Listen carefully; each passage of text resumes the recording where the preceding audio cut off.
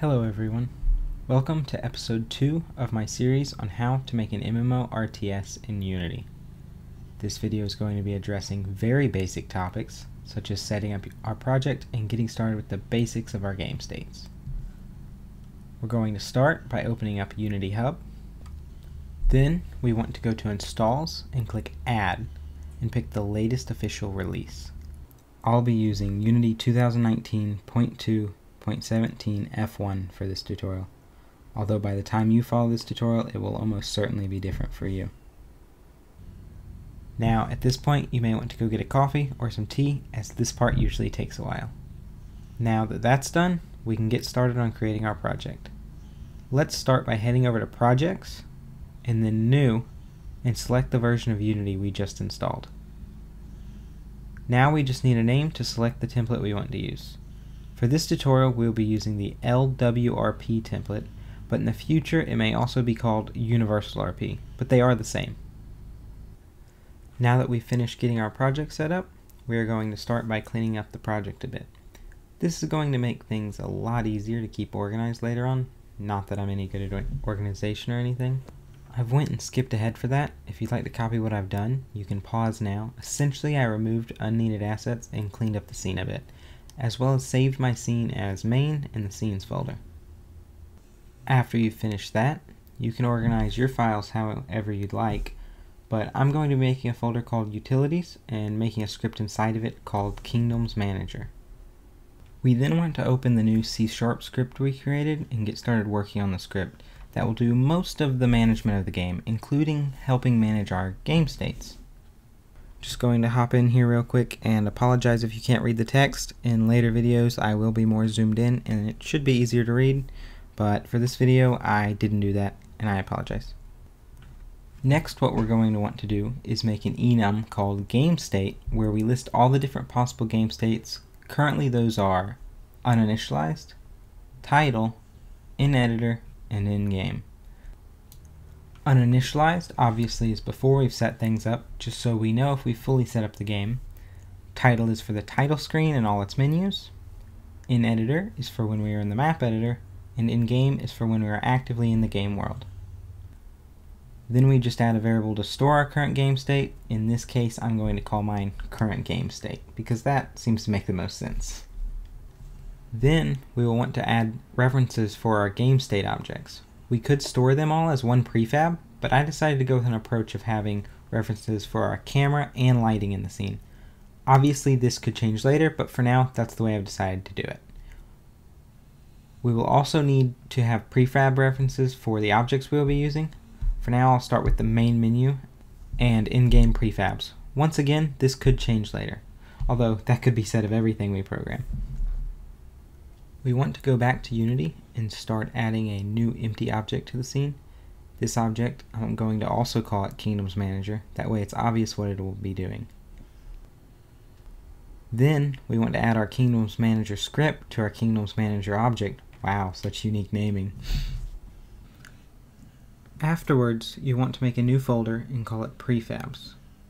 And make prefabs for the camera and the light. One set for the main menu and one set for in-game and I'm gonna just speed past this process. If you need to see what I'm doing, you can always just slow the video down and you should be able to tell what I'm doing. Do do do do do do do do do do do do do do do slowed video or, or sped up video. The goal was to keep these professional sounding, but uh yeah, that that kind of went out the window. Anyway, next up we need to drag the prefabs onto the script in our game object, each one going to its corresponding variable. Now we're going to set up a go to game state method, which is pretty self-explanatory. Let's say you're in the title and you want to swap to in-game or vice versa. This is the method that does that basically. So I'm not going to go over everything in detail in this method, as I probably won't throughout most of the code as long as it's simple to understand. However, an example of something that we would go over is when we get into the detail on how to make maps or, you know, um, anything where it's not like, ah, add an if statement here. So don't worry later on, if there's things you don't understand, it's probably going to be explained. And then some of these more simple things, if you do struggle with them, you can always look at nice resources for them. So for the line you see here, if game state equals equals current game state is pretty self-explanatory. It's basically just saying, okay, is the game state we passed in the same as the current game state? If so, we don't really need to do anything because we're already in that game state. There's not really anything for us to change. If the current camera does not equal null, so if it exists, destroy it. We don't want it. We want a new camera. Same thing with the light. Destroy it because we want a new light. And then here we have if the game state equals equals title, then we're going to do our title specific code. Like if we you know need to instantiate certain prefabs or anything like that, or if there's anything specific to the title, it'll go there. And that's pretty self-explanatory. And then we have our you know instantiate line. Okay, so then we just need to finish up our instantiate lines for the title screen so that we can test it. And we want to instantiate both our main menu camera prefab and our main menu light prefab whenever we go to the title screen. So if the game state equals equals title, we want to instantiate both of those prefabs.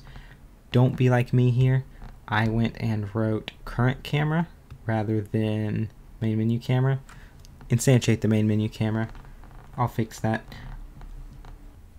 I tend to do that a lot. Anyway, once that's fixed, we really only have two things left to do we need to go to our start method and actually call go to game state so that at the start we transition from uninitialized to the game state we want to move to. And depending on what we do later, that may change because we may do things before we initialize it, but for now, that's how we'll do it. Anyway, once you've done that, head over to the Unity editor, hit play, and verify that your things are instantiated. They should be underneath the Kingdoms Manager if everything worked, and you're good to go. Alright, so I hope you enjoyed episode 2 on how to make an MMO RTS in Unity. If you did, there's a few things I'd hope you'd consider, either leaving a like and following me, or joining our community on Discord. There will be a link in the description, and I hope you'll check it out.